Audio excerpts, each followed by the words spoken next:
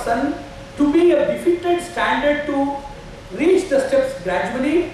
And number two it also makes the person to be complete. It also makes the person qualified for liberation even not liberation even uh, still he survives till he survives in the world it will also enable the person empower the person so that he can lead a good life and also direct the other people from the same and this is the essence of samskaras purpose of samskaras as it has been quoted in the shastras and we are seeing lot of samskaras in various issues I have already told Janmana Karmana.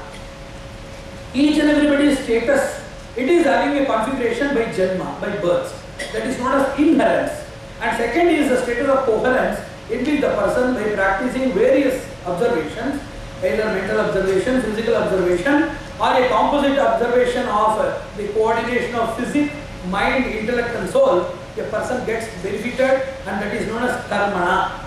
And in this karmana, you know that I want to say three samskaras. There are four samskaras actually. Atma samskara, Deha samskara, Loha samskara, Paka samskara. Innumerable samskaras there. These main things we have taken for exemplification. Paka samskara means whenever you take a vegetable or something, there is a particular process by which unwanted things are removed. Second thing, wanted things, either spicy, juicy, saucy things, they are added. They are just added and decorated. And third thing, they are processed by means of boiling and other cooking methodologies. So even if we are taking that without processing, the body has a process of absorbing, body has three processes. One is mala, second is guna, third is urja. Whatever we eat, the unwanted things, they are being secreted, especially that have been segregated to go for excretion. The second thing is that it is assimilated and taken in the form of nutrition. The third thing is guna, the essential primordial characteristic nature as Buddha's patient ignorance, Satvika, Rajasa, Tamasa, these characters from the food, that is the greatness of autodietetics, our food system. We consider that one fourth of the character is determined by the food that we take. The apparent surface of the food,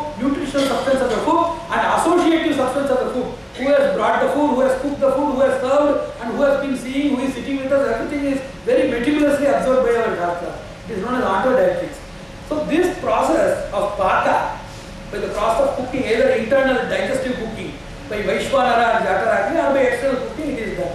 And Loha, you know that for metallic extraction, purification, synchronization or amalgamation, consolidation, then application, these five systems are there. Like for Deha also there are samskaras. For Atma also samskara. So Dehatma Samanvaya samskara. Whatever we are now discussing today is Dehatma Samanvaya.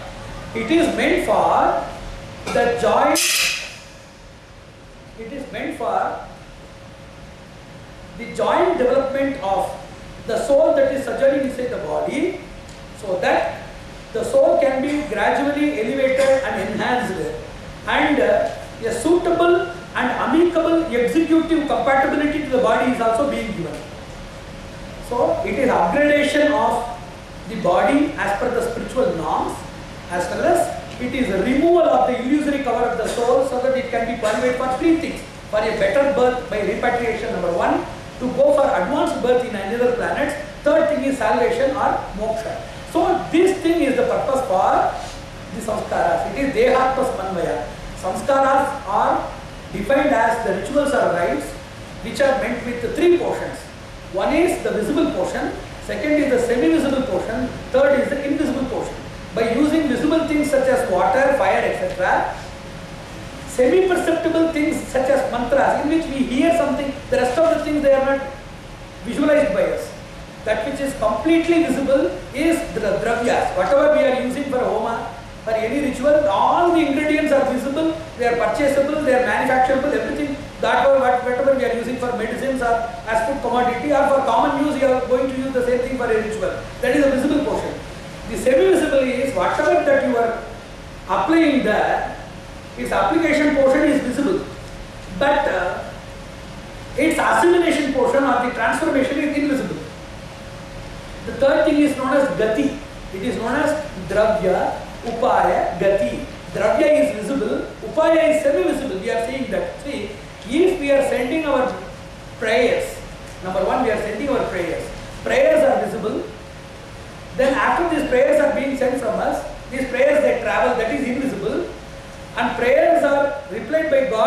of benedictions or clemency shower, that is invisible, due to which we get happiness, we get progeny, we get harmony, we get lot of developments. Those things are visible. So it is a visible, invisible, invisible, visible type of uh, travel of energy.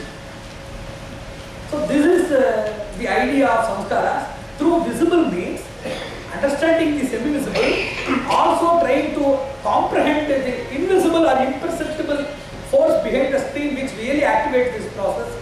That is what we call samskara. So through visible means, understanding the semi-visible and trying to comprehend the invisible for getting visible as well as invisible benefits is defined as samskara. That is the paddhati for that. It can be of three types. What is the use of this fan? Sadwaraka. First type of thing is Sadwaraka. Second thing is Pravesha. Third thing is Prudakacharana. Sadwaraka is we are doing the samskaras to somebody who cannot respond. For example, an embryo, a just newborn child, a child who is uh, subjected to ear piercing and who is subjected to tonsure and other things, it cannot respond, it cannot understand anything. So that is known as Sadwaraka. That type of samskara which is done to somebody who cannot respond is Sadwaraka. Second thing is Pravesha. For example, Aksharabhyasa, Karnabodha, Jihva Lekana, Mantropadesha, all of these things are done to somebody, even though they are not full-fledged, still they can just respond to that.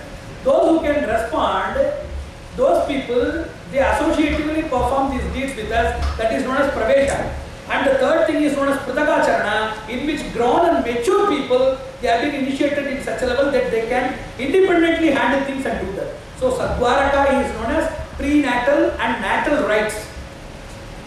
And when the person just enters or peeps into the era of recognition, cognition, imagination, comprehension, attention and assimilation, that is the age of seventh. It is started with Upanayana. That is known as Pravesha.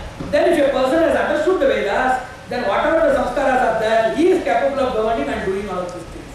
And one more thing in samskara, they used to say Purna Siddhi. By doing a single samskara, there is no such samskara which is single or singular in nature, which can give you total refinement. Each and every samskara promotes you and creates an eligibility for its forthcoming samskara. So it should be understood, once there was a samskara on Vivaha, and there was a very big debate about the Vivaha samskara and 12 days Vivaha, 7 days Vivaha, all these things have been discussed by those people. And what we said is, if a person is not qualified with the previous samskaras, suddenly coming for a benefit in the middle is totally, it is absurd and it is totally impractical.